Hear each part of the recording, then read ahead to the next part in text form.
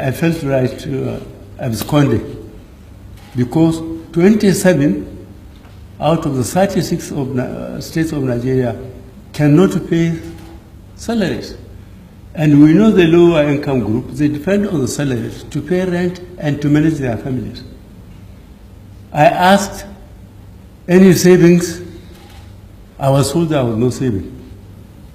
What have you done on agriculture?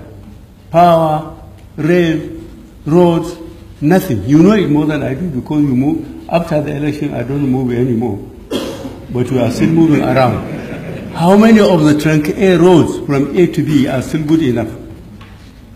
How much power do we have? Of course, there were some elements of uh, sabotage. But then, where is that money? I was told the, the, the, the money mostly we buy food and we imported or were importing uh, fuel. I didn't believe the answer. I still don't believe it. Up to now, substantial number of Nigerians in the east, they eat gari and groundnuts.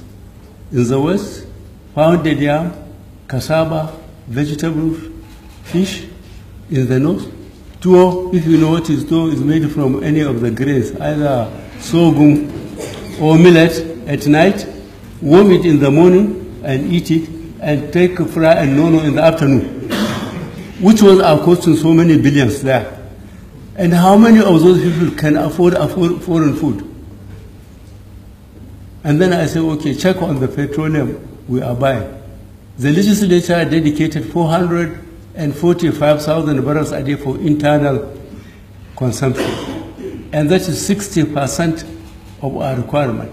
I said, okay, what of the 40%? The marketers that are bringing it, one third of their claims was fraudulent. People are just stamped and money was taken away. This is the type of thing we, the Nigerian elite, are doing to our own country. And for the food lies, the people who have the money keep on recycling it. I have to digress so that uh, you are the best constituency to know about this.